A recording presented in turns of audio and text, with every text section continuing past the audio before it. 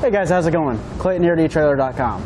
Today, I have a Ranger bass boat. We're to be taking a look at brake actuator cap for this trailer. As you can see, here's the stock one. It's, it doesn't look very clean, it kind of sticks out, it looks old. When we're putting this on, it's super easy.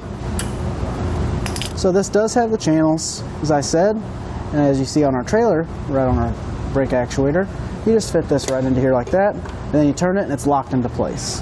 This is going to look very nice, it's not going to stick out, and then if it does happen to get seized on, it's plastic, so you can simply pull it off.